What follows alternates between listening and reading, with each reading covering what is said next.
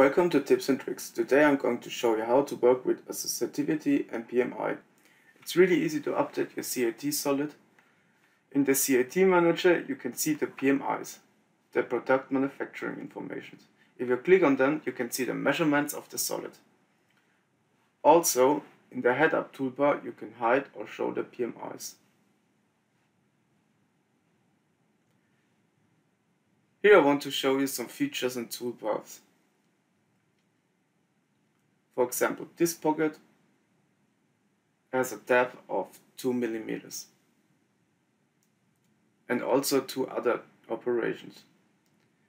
The next step is I want to restore the link to a similar solid which looks a little bit different. For this I go back to the CAD manager and right click on the part and restore the CAD file link. Then I select the file I want to restore. Make sure after that to update the link after restore it.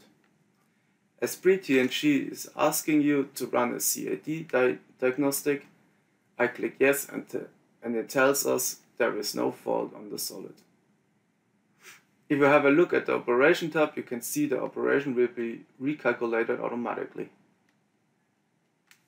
You can see the feature has been changed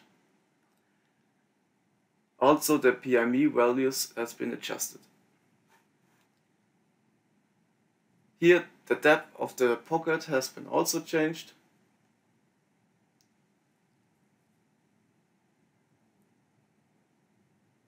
And all toolbars according to features. And this is how we work with associativity and PMI in Esprit. And that's it. I hope you liked our tips and tricks video. Don't forget to follow Esprit.com social media and stay tuned for the next tips and tricks clips. Thanks.